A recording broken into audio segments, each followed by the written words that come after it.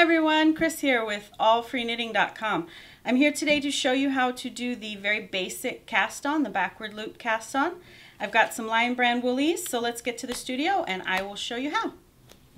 Hey everybody, we're here in the studio and I have my Lion Brand Wool-Ease and I've got some needles and the only thing you need additional to do this is your thumb. So to do this, to get started, you're just uh, leave yourself a tail and you need to make a slip knot. So I'll just work a basic slip knot here. Go. And to do this, you take one needle, put it on your slip knot, go, and take your yarn that is attached to your ball here and make a loop over your thumb. So see I just went under the yarn and made a loop and we're going to stick our needle into that little hole that we made there and pull it down. Here we go. So make a loop, go through the hole, pull it down. This is our very basic cast on here. And you're just going to repeat this as many times as your pattern says to cast on. If your pattern doesn't give you a particular method to cast on, this is tends to be my go-to. It gives a very nice, simple edge.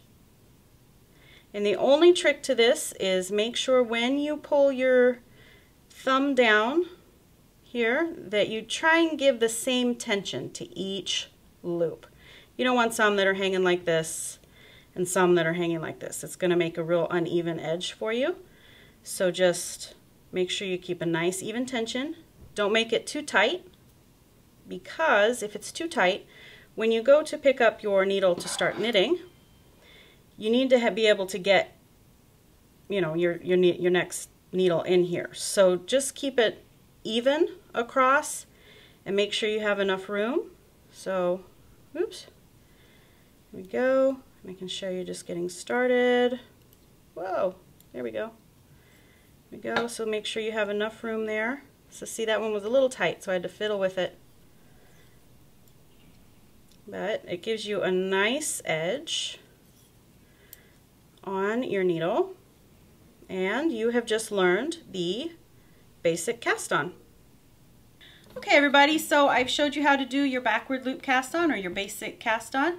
Um, I will have everything you need down in the description bar about the yarn and everything you need. Please give us a thumbs up if you like the video. Leave us a comment. Tell us what you'd like to see in the future and I will get those videos up for you shortly.